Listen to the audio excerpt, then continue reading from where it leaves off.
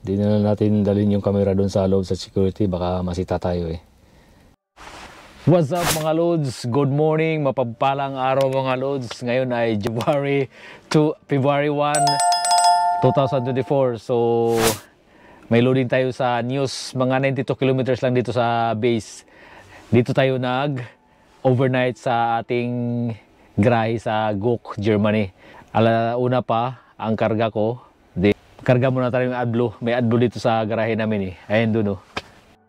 Alright, dyan tayo magkakarga mamaya. May nagawasing na isang Ukraine. Ayan. Dito yung garahe namin sa Go. Pagka weekend, punong-puno to. Wala nang paradahan yan. Alright, nabili na ni Busto eh. Siya na mayari nito. Okay, punta tayo doon. Pag alis niya, mamaya-maya kunti. Okay, see you a bit. Alright, mga load. Umpisa na tayo sa oras natin. 9.30. Begin country. Dito tayo sa Germany, sa garahe. Okay, stored. Working natin, naka 16 hours tayo na break. 5 minutes lang, then abante tayo doon. Alright, magkarga natin na AdBlue. See you a bit. Rock on! Alright, check natin naka 5 minutes na ba. Other works, alright, so bantay tayo doon. Lapit lang. Okay. Diyan lang tayo karga ng AdBlue, di ba? Alright, mga loads. Andiyan pa ba kayo? Palapit na ako sa inyo. Karga lang tayo ng AdBlue. Yan, ganyan. Off natin makina. Ganun na kasimple. Susi, sana yun? Yan. kami dito mga loads may mga may adblo nga kami dito. Di ba minsan mahirap din mag karga ng adblo sa labas. Lalo na pa yung mga trigger nila di ba? Hirap ma. Hirap eh ano eh gamitin eh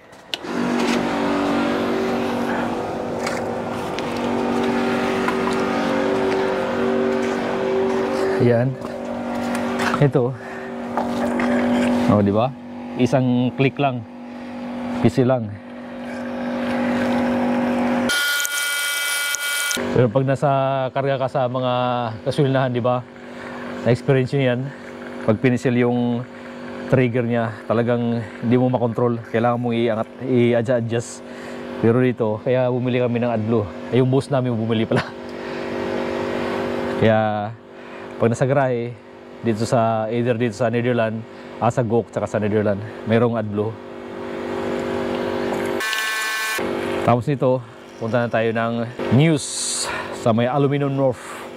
Kakarga tayo doon ng coil dalawa lang. Tapos drop na sa DFD sa may Vlardingen Netherlands. At tatlong oras na tamahigit driving So nag-umpisa tayo ng alas 9.30 kanina nga nakita nyo, di ba? Alright, puno na. Ay, hulog.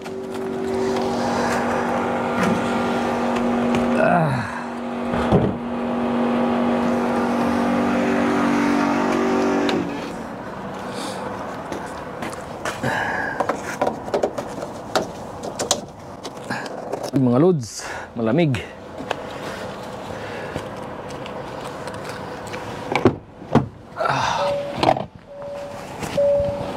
Right. Rakyat tayo. Let's go na tayo, let's go. Isa tayo. Yung ikang Uk- Ukraine na to, do, di nata siguro to eh. Yung Ukraine na yun oh. Labas tayo sa gate. Ayun oh. Kaya hindi yung kasabayan ko nung dun sa Netherlands, sa Istron. Nag putol ng empty. Ukraine na matanda. Sigurado doon din ang loading yan.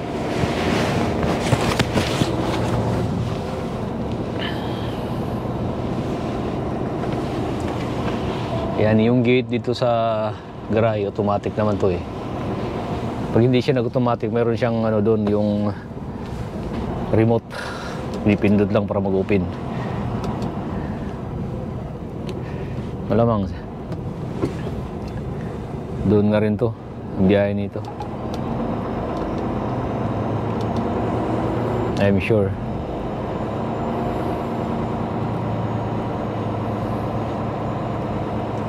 Ayan, automatic na yan eh.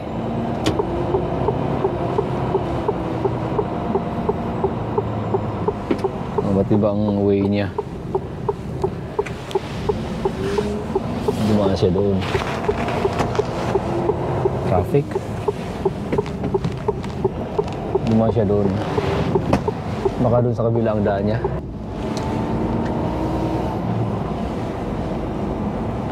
Ay. Lord, guide me always. Guide me always.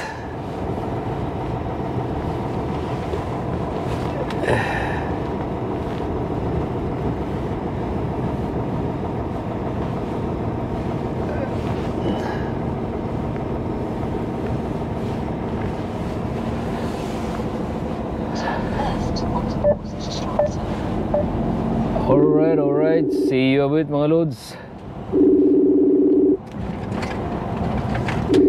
Tawag tayo sa ating mahal sa buhay. Stop. Look and in. Hello, love. Hmm. Kumusta? Ibi. Sila, ikaw ba? Ito, palis na. Ka-drive ka? Opo. Drive, drive, drive. Palabas na ng uh, garahe. Oo. Right,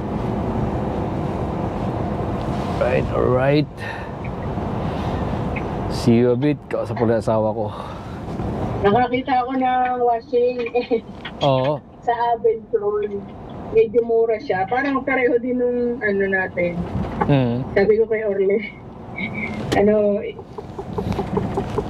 ibili ka ako at babayaran. Ano, kasi malapit ang Abenson doon sa ano eh. Sa Makailing Oo. sa kanila, sa, sa pinagtatrabahoan nila. Mm. eh baka mag-shopping yung mga asawa, eh, sabi ko pakiting na ako meron. Mm. Ano yun? F- for deli- delivery yun siya. Di-deliver. Hindi, depende siguro sa mga papag-usapan nila. Napagtatanong naman ako noon eh, pagka Tabanti na tayo.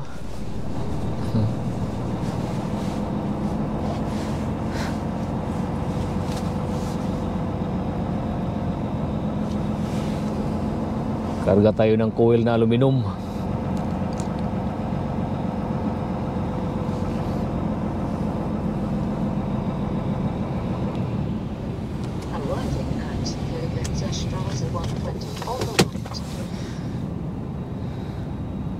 Off natin yung makina.